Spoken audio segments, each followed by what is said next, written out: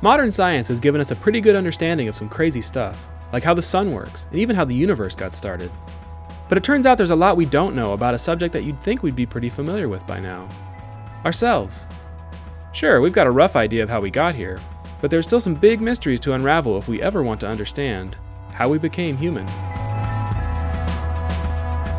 Walking on two legs is so characteristically human, you'd think we'd know why we do it, but the truth is, we're still not sure.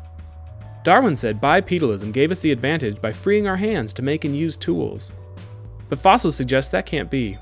The oldest tools date to around 2.6 million years ago, but our hominin ancestors started walking upright almost 2 million years before that. So if not the free hands, then what? Some think walking upright allowed early hominins to better spot predators.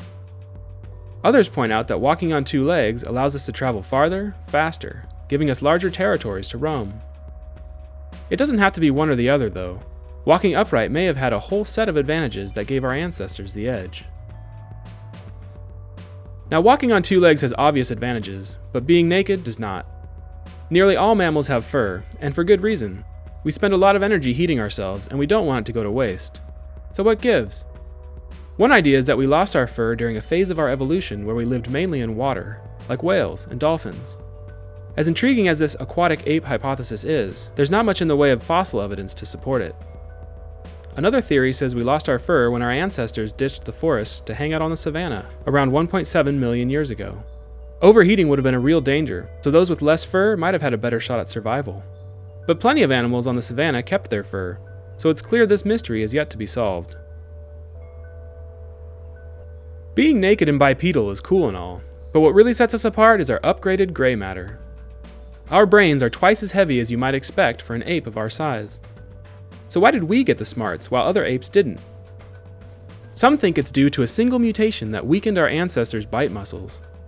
This reduced the force across our skulls, allowing them to balloon out, filling with brain.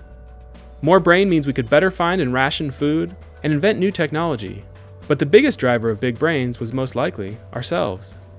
Keeping tabs on your place in the social structure would seem to reward those with more brain power. In fact, fossils indicate that proxies for social pressures, like group size and living density, rather than environmental pressures, were more closely associated with larger brains in our ancestors. The thing is, though, we Homo sapiens aren't the only animals to walk on two legs, lose our fur, or have decent sized brains. For tens of thousands of years, we walked the planet with at least four other types of hominins, and we all shared roughly similar traits. They're now extinct, but we remain. Why?